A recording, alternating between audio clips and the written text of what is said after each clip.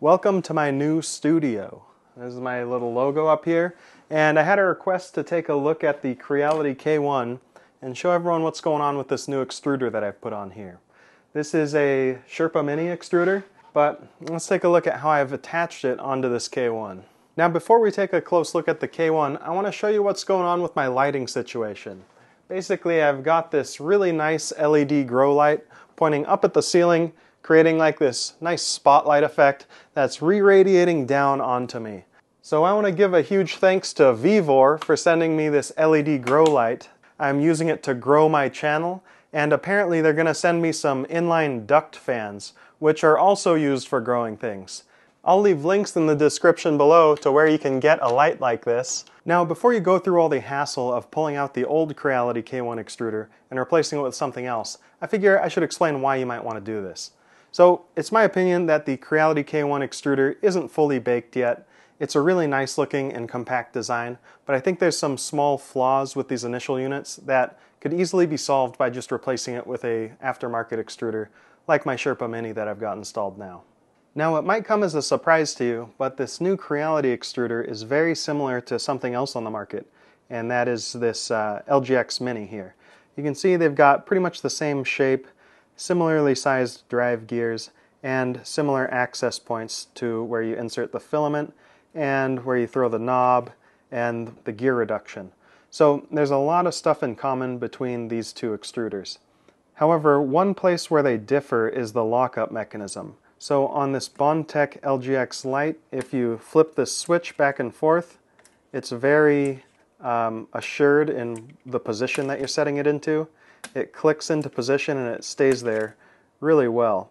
And you can't bump it out of position. Like I'm pushing on this and it's just springing back to the closed position. But if I push on it hard enough, it'll switch to the loose position, which allows me to easily remove and install filament or the middle position, which is designed for flexible filaments, and then the fully locked position, which is designed for normal filaments like PLA and carbon fiber, basically anything that's like a normal hard plastic. Uh, contrast that to the K1's extruder. You can see it's got kind of a similar thing going on. You've got a lock position and an unlock position. The unlock position allows you to remove the filament easily. So uh, um, if I just put that back in and then I hit lock, you know, throw the switch over, now it's locked in and when I move this, it's having to back drive the extruder to get it to move and, you know, the teeth are engaging there nicely. However, there is a bit of a problem here and if that if I bump the switch, um, I can get it to unlock and then lock, but if I just push it a little bit, it doesn't return back to the fully locked position. So you can see there's a little bit of wiggle here. and this can be highly detrimental to your 3D printing experience. Basically, if this gets knocked out of battery just a little bit, the extruder gets a slightly less strong grip on the filament. And if it gets bumped enough, then it'll completely slip past. You can see I'm pulling filament through, and um, the extruder is not preventing it from going through, and it's not having to backdrive the motor to get it to push through. So you know, that's just kind of a worst case scenario because if this were an actual print, then you'd be in a situation where you're not actually extruding plastic, which results in virtually any print that you're working on failing. Now, you just have to make sure to lock this all the way and then everything's all good. But the other issue is that there's a drag chain on the K1. If you look at it over here, you can see this chain on the top this chain can actually bump into that switch. And if that drag chain bumps into this switch during the course of normal printing, that can knock it into an unlocked position or even a semi-unlocked position where the uh, extruder just has kind of a looser grip on the filament now. So now you can see I can pull it through. Sometimes it works and sometimes it doesn't. And if it experiences any back pressure or adverse events, then it's going to completely stop the extruder from working at all. So that's kind of a design flaw in my opinion. You should have a strong return to lock feature so that it doesn't come unlocked in the middle of a print because that will result in a failed print every time. I have a ton of extruders at my disposal and virtually all of them use a spring to ensure you get adequate clamping force of that filament. Even if you look at all of Creality's past designs, they're all using a spring to get that clamping force. Even the Sprite hot end, which is the one that was right before this, if you look at this uh, extruder module from the Bambu Lab P1P, it also has a little spring in there that ensures you're getting that clamping force. It's just a super basic design feature that all extruders have used.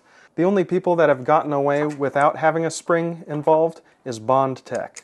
So Bondtech are like the OGs of good extruder technology.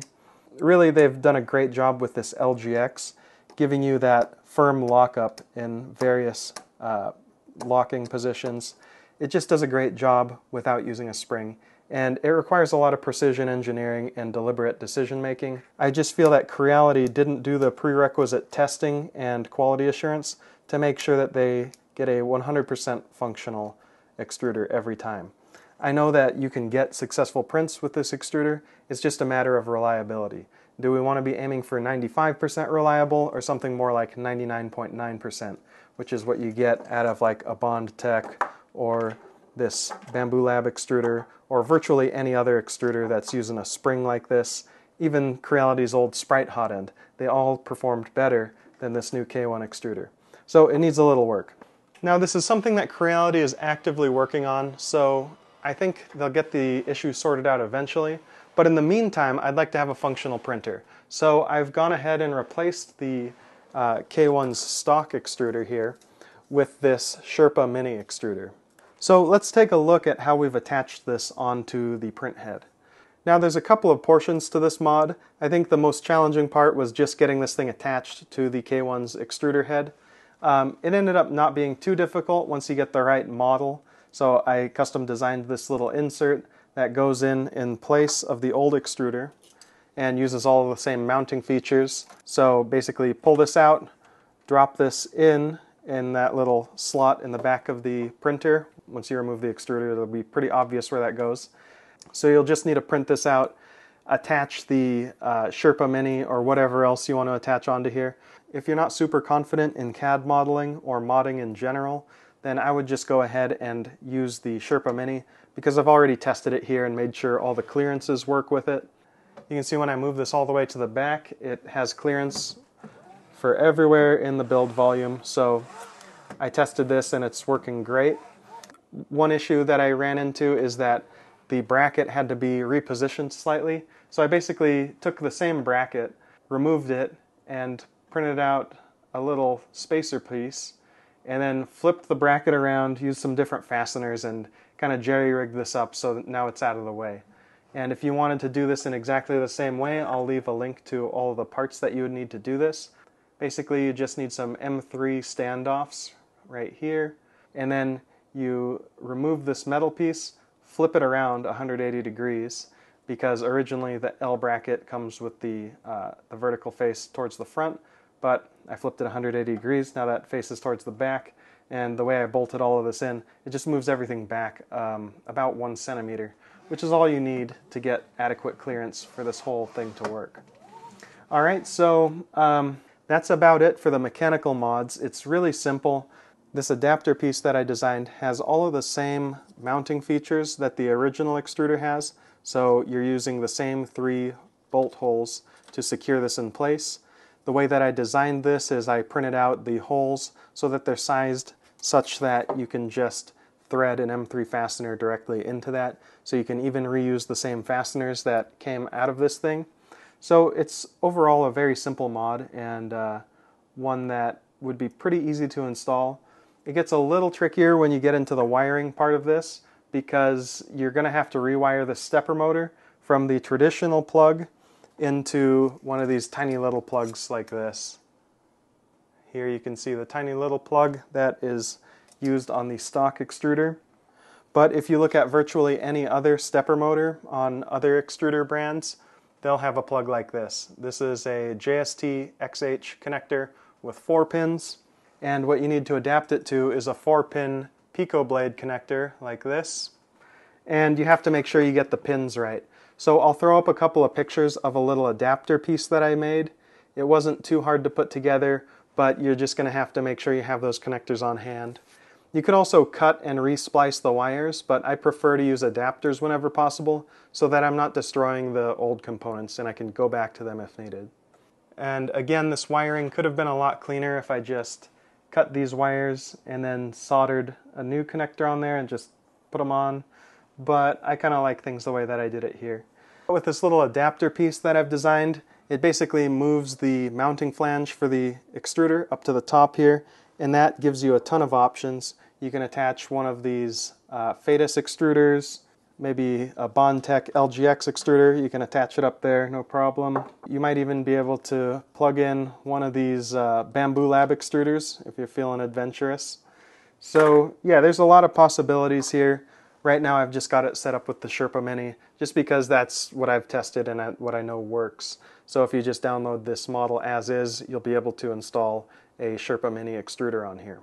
So that's about it. I mean, now I've got this running and everything works fine. However, there's one more challenge that you're going to have, and let me show you how my first prints turned out so I can show you what I mean. So this is what all my first prints were looking like as soon as I installed this extruder. Basically, I was running into a problem where it was extruding half the plastic that it needed to. So after a little bit of tweaking in the slicer, I was able to get things working just like this. Now, the ideal way to solve this problem is to update your E-steps per millimeter which is basically telling the printer how many steps are required to move the filament one millimeter. However, I couldn't find a way to do that in the current build of the firmware on this Creality K1. So I had to do these updates through the slicer settings. Basically, I changed the slicer settings so that all of my flow rates are set to 200%. So it's extruding twice as much plastic as it thinks it needs to, but this ends up being perfect for this because the E-steps per millimeter on this extruder are roughly two times that of the stock extruder. Um, that also means that you're getting a higher gear reduction here, which is kind of neat. However, you're using a smaller stepper motor, so I think it all kind of balances out so that they produce about the same amount of torque. It's just that the stock extruder probably has a higher top speed, whereas this one might have a lower maximum volumetric flow rate. Both of these extruders are more than adequate for typical printing like everything up to 30 plus cubic millimeters per second will be able to be handled by this. So yeah, if you want to try this mod out, just uh, let me know in the comments. I'm going to put links to all of the relevant files and parts that you'll need in my Patreon. So go over there and sign up if you want to check out how to do this mod. We can go ahead and look at these print results. They look quite nice. This is a clear PETG. And uh, this one was printed with 0.2 layer height. This one was 0.1 millimeter layer height, so you know a finer print. But I think they both turned out about the same level of quality.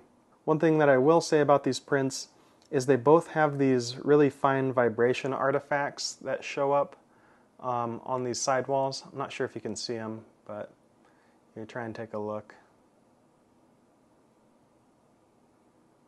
They're kind of difficult to see, but if you look closely, you'll definitely notice them. So yeah, that's the only other issue that I have with this K1. Other than that, I've had a pretty good experience printing with it. It's just the extruder and these really fine artifacts. I think Creality is still working on a fix for these, so I think in the future we might have those issues sorted out. But for now, I'm just plopping this new extruder on there and calling it good. So let me know in the comments below, do you think Creality should support mods like this or try to shut it down?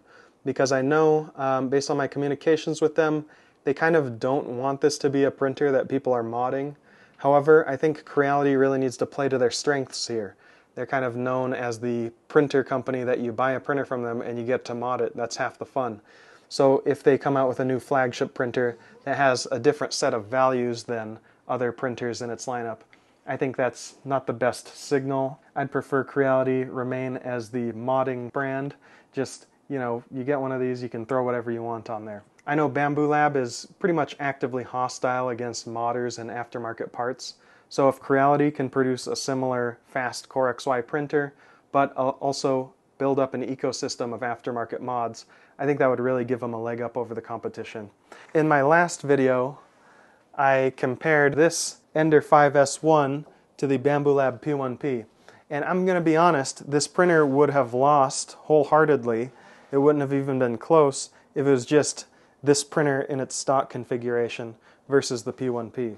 However, thanks to the mods that I threw on here, I think it really elevated the performance of this machine and made it very competitive with that P1P. But if Creality wants to start locking things down and kind of playing that game with Bambu Lab, I think Bambu Lab has a better printer in the stock configuration. But just allow people to change things and upgrade them. And I think, you know, you could have a real winner on your hands. So what do you think? Let me know in the comments if you think Creality should lock this printer down or leave it open to mods. I found workarounds and hacks to get this to work, but what do you think the philosophy of Creality should be moving forward? Remain as the king of the modder printers or just compete with Bambu Lab at their own game, which is to make a highly competent hypercube printer where you don't get to mess with anything and it's just basically an appliance. Um, and I'll be honest, it's going to be pretty expensive to install this. The extruder is about $47. We'll just call it $50 for the extruder. I printed it out of PETG in case I wanted to run this in an enclosure. I think the PLA might be kind of pushing it um, in terms of its temperature range. Then I had to um, wire up this little adapter piece, or you could also solder these wires into that Picoblade connector, but that's going to be a little bit complicated as well. And then I needed a bunch of just miscellaneous fasteners to make this all happen.